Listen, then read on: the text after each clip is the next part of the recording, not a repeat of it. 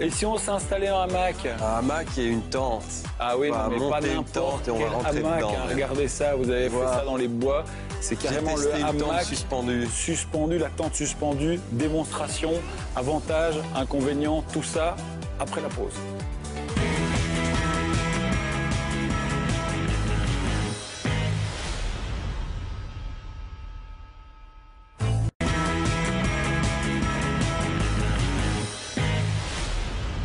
Qu'on est bien. On bouge Oh, pas. mais qu'on est On est bercé. Troisième et dernière partie dont n'est pas des pigeons. On a décidé de faire du camping, tiens, cet été. C'est une bonne idée, ça, le camping. C'est une bonne idée, mais moi j'ai mieux encore qu'une simple tente. J'ai du camping suspendu dans les arbres. Non. Ça vous dit, ça si. Du camping suspendu. Avec une tente comme celle dans laquelle on est suspendu dans les arbres. Alors c'est vrai, il y a quelques années, les gens disaient encore le camping c'est ringard, mais il faut savoir que selon la Fédération euh, française de l'hôtellerie de plein air, durant l'année 2015, eh bien le camping ça a été 113 millions de nuitées. C'était une année record et ça se répartit euh, comme suit. Il y a eu 38% de personnes qui ont logé dans des mobilhomes, 26% dans des caravanes et 34% euh, ben, qui ont logé dans cette bonne vieille tente. Et au niveau des motivations, figurez-vous que c'est pas vraiment le prix, hein, le, le- bas coût du camping qui motive les gens. Il y a que 15% des gens qui vont faire du camping parce que c'est pas cher. Le reste, c'est plutôt pour le, le côté évasion, le côté Ouais. sauvage, euh, retour, retour à la nature. Et en Voilà ce Belgique qui motive les gens. Ben, chez nous, d'après une étude, un sondage qui a été publié en 2015 par Dedicated, eh bien, euh, un Belge sur quatre a déclaré dans cette enquête être parti faire du camping au cours de ces trois dernières années. Donc, c'est un marché euh, important. Il y a vraiment une envie de, de- de retour à, à la nature. Et pour un bon retour à la nature, eh ben, on a décidé de tester la Ah euh, la Suspendu, tente dans les arbres. L'idée, elle vient d'où alors l'idée, elle vient en fait d'un- architecte, euh, d'un architecte anglais qui rêvait d'une cabane dans les arbres à la Robinson Crusoe. Oui. Quand vous étiez gamin, vous aviez envie de la Ah bah cabane oui, dans mais les c'est arbres. hein. compliqué à monter. Ouais, ben voilà, ça ici, c'est une tente qui se plie, qui se déplie, une tente à main. Regardez, ça fait rêver quand même des, À des- fond, des ça paysages comme ça.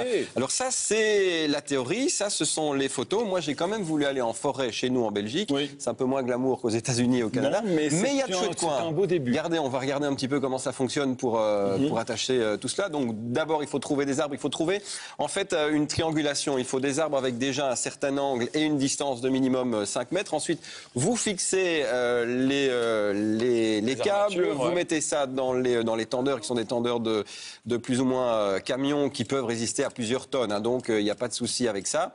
Si besoin, faites-vous aider d'une échelle ou d'un truc pour grimper dans l'arbre. Vous tendez le tout, vous mettez les arceaux ici. Vous tendez la moustiquaire et puis ben, il suffit de monter avec la petite échelle qui se trouve en bas. Et donc euh, je voulais voir ce que ça faisait aux gosses, s'ils avaient peur avec la hauteur. Ben, vous avez vu là, ma Elle a petite pas eu peur, hein. pas de souci. Le point le plus haut là c'était 3,50 mètres quand Ouais. Le point le plus bas on était plus ou moins, euh, on était environ à, à 1 mètre. Il faut environ 20 minutes pour le monter là parce que c'était pas vraiment euh, prévu. Enfin c'était pas un endroit euh, super idéal pour, le, pour la monter. Maintenant si vous faites ça à plat, comptez 10 minutes, un petit quart d'heure. J'avoue que j'ai eu un petit peu peur en montant dans Ouais. cette tente avec vous, sachant que statistiquement, il y a une chance sur deux que ça foire avec, Avec vous, moi. forcément. Mais je suis tombé Mais, euh, hier donc voilà les va. 50% de chance étaient. Eh, mais étaient honnêtement, c'est une super idée. C'est vraiment, c'est vraiment, Ouais. euh, c'est vraiment assez, assez étonnant. Pas compliqué à monter. Hein. Non, c'est vraiment assez simple à monter, mais alors on peut Mm. se demander quels sont les avantages finalement du camping suspendu et à quel public ça s'adresse? Eh Oui. bien, j'ai posé la question à Noémie qui travaille pour la boîte qui distribue les tentes suspendues en France. Ce qui est assez génial, c'est qu'on est au-dessus du sol, donc peu importe s'il est euh, pas très stable, euh, pas très droit, euh, humide ou rocailleux. Et les plus grands adeptes sont aux États-Unis. Alors étonnamment ou pas, mais, peut-être plus amateurs de sport extrême, etc. Parce que, parce que ça leur permet d'avoir accès à des endroits, que ce soit dans la neige, que ce soit un peu dans des coins. Différents. On en a pas mal dans les Alpes justement. C'est pas forcément des, gros habitués du camping euh, au sens conventionnel où on l'entend. Peut-être plus aventuriers ou, euh, amateurs de sensations fortes ou, euh, ou des gens qui aiment bien faire des belles photos parce que ça permet d'avoir un, coup d'œil assez différent.